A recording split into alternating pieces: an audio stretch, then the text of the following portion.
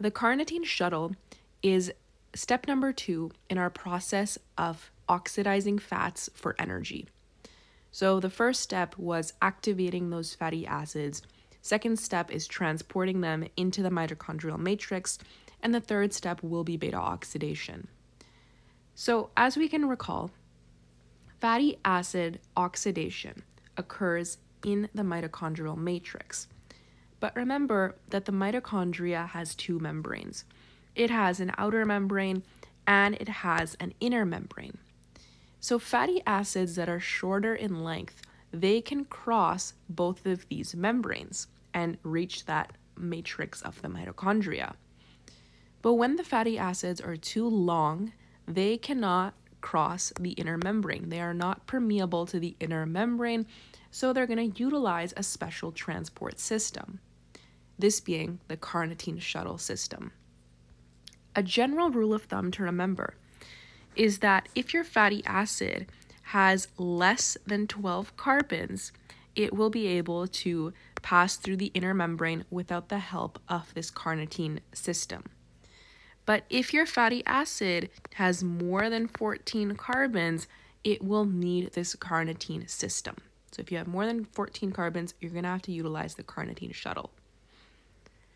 So Taking a look at the carnitine pathway, we have to understand that carnitine is actually a structure, and the structure is depicted right over here. Now, what happens is that after we have activated our fatty acid, remember that initially our fatty acid, it's not going to have this coenzyme group, it's going to have an oxygen. So it looked like this. And what we did was we added in our coenzyme A group.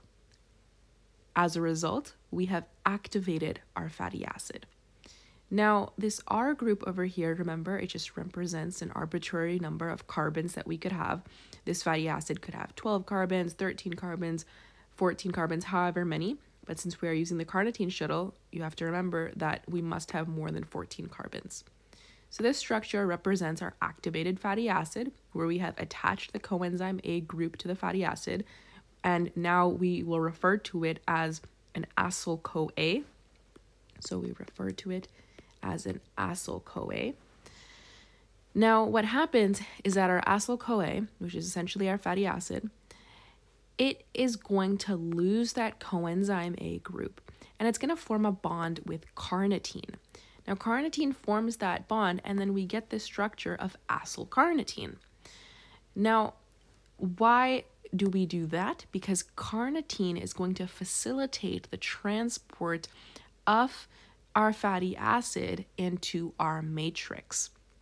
Now, this reaction is catalyzed by an enzyme, and this is this enzyme is actually found on the outer membrane of the mitochondria, and it's called carnitine acyltransferase 1.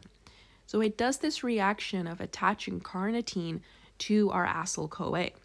And as a result, this acyl carnitine can be transported through that second membrane through a special transporter that we call carnitine acylcarnitine translocase.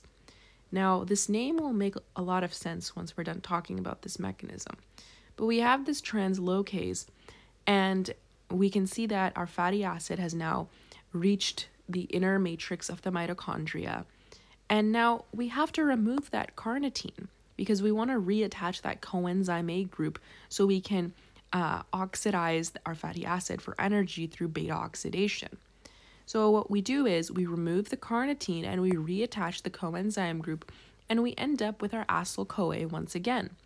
Now, this step is catalyzed by an enzyme as well that is found on the inner membrane and it's called carnitine acyltransferase 2 and this enzyme, as a result, will give us our product of acyl CoA.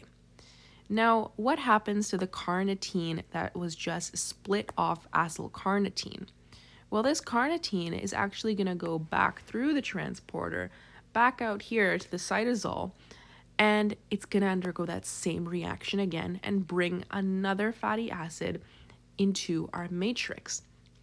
That is why this protein transporter is a translocase and it's a carnitine acyl carnitine translocase because it can move both carnitine when it is done being used, it can bring it back out, and it also brings in acyl carnitine from the cytosol.